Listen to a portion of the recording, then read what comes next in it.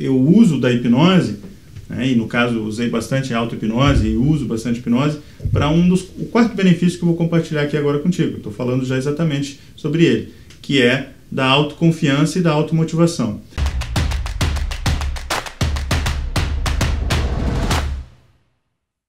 A hipnose te permite estimular esses, eh, esses recursos é, no indivíduo. Então, por exemplo, é, um dos benefícios principais é que é, o que, que me bloqueia, o que me limita ter confiança em mim mesmo frente àquilo que eu quero aprender, quero estudar ou quero ensinar.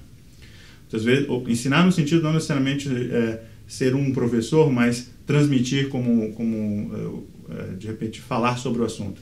No ambiente empresarial, muitas vezes eu tenho que lidar com altos executivos na área que eu, que eu tenho atuado, de tecnologia, é, onde eu vou falar com, por exemplo, o presidente de finanças e apresentar números é, que muitas vezes não estão todos ali é, da maneira que o, que, que, que, o cliente, né, que, que, que a pessoa está esperando. Então, o que eu preciso ter clareza aqui é que a confiança na maneira de transmitir aquela informação, ela precisa vir de algum lugar. A auto-hipnose me dá toda essa, esse, essa base, né, esse, esse chão necessário para que eu possa resgatar em mim mesmo os recursos de informações e conhecimentos que eu tenho, para que eu possa conectar com conhecimentos que eu estou adquirindo, que eu estou buscando uh, aprender ou que eu estou tratando de assimilar no meu dia a dia. Então, esse, esse mesmo conhecimento ele é aplicado tanto naquele, como eu disse antes, no processo de aquisição de conhecimento, como de distribuição desse conhecimento e de aplicação dele. É, e você leva isso para quase qualquer área da, da tua vida. Mas, no contexto aqui de ensino, é, educação, aprendizagem né, e de estudo, a gente faz essa, essas distinções simplesmente para poder colocar um marco aqui e facilitar o teu entendimento. Esse é um estado natural, né? Ele acontece de forma natural ou estimulada. O que, que eu quero dizer com isso? Natural é que você já pode ter passado por isso, onde você estava dirigindo numa estrada e naturalmente entrou num, nesse estado porque você se percebeu de repente depois de 15 minutos dirigindo que você não, não se deu conta do que você viu nem de onde você estava, né? Alguma coisa nesse sentido, onde você se viu olhando para o horizonte e, perdido nesses pensamentos ali. É, isso é natural, mas você pode estimular isso. Então, com a hipnose, a gente pode artificialmente provocar isso. Se eu quiser que não seja espontâneo, né? E se eu quiser que esse estímulo aconteça num momento programado, também é possível. Eu tenho um livro onde eu falo sobre essas coisas.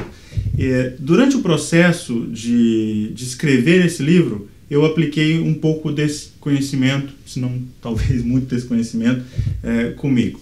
Para escrever esse livro, eu tive que dedicar um tempo para poder aprender, primeiro, como era escrever um livro, né? aprender a ser o escritor. Depois eu tive que criar uma condição de é, durante o processo de, escrever, aprender a como editar o livro, como, como fazer todo o trabalho de, de, de organização, estruturação daquele livro e do conteúdo.